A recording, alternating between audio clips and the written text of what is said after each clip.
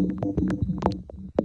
Para julio, el Instituto de Seguridad y Servicios Sociales de los Trabajadores del Estado, el ISTE, tendrá problemas para operar porque está en quiebra financiera. Así lo alertó el director de Normatividad, Administración y Finanzas, Mario Centeno.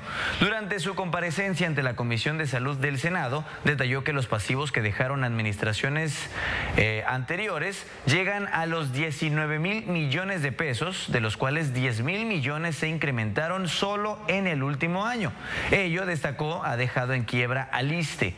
Centeno Santaella advirtió que se actuará en consecuencia presentando las denuncias debidas por daño patrimonial en las finanzas del instituto.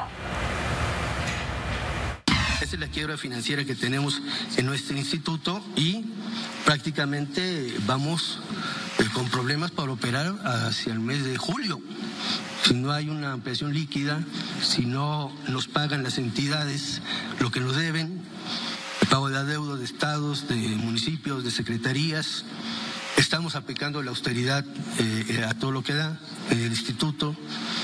Ahorramos alrededor de mil millones por año, serían seis mil millones, entonces todavía nos restaría para sacar adelante nuestro instituto. Entonces llamo la atención ahí, ¿no? A la comisión, es un tema relevante. Mucho de este pasivo se hizo sin suficiencia presupuestal, o sea que hay daño patrimonial ahí.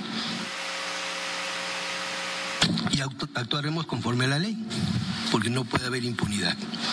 ¿No? Está en contra de nuestro instituto nuestro instituto eh, tiene inmuebles ya muy viejos, de 40, 50 años.